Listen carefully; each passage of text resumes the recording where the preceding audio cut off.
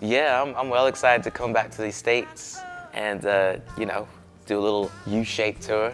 So uh, I'll see you there, guys. It's pretty pretty crazy. I'm so happy, yeah. Well, mostly cities that I've never been. I love traveling, so yeah, that's another opportunity there to go see places I've never been and bring my music further.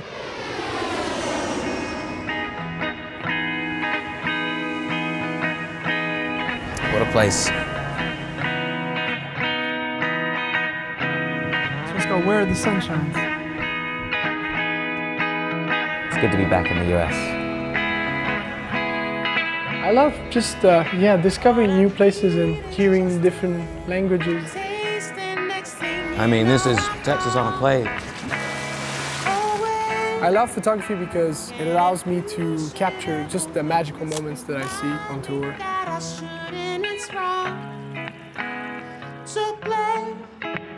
This morning I saw uh, Ziggy the Falcon, my new friend. It felt pretty cool and special to be in the same space where Obama found out his good news about being re-elected. the hotel almost feels like a temple. It's very peaceful, like coming to the oasis.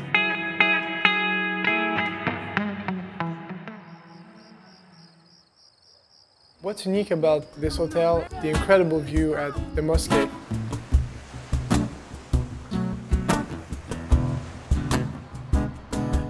This is where I wrote the, some songs actually.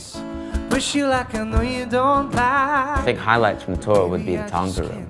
The Tonga room was very, very cool, very fun. The Savoy is so nice. Makes me lose Probably one of the best tours I've done, yeah, for sure.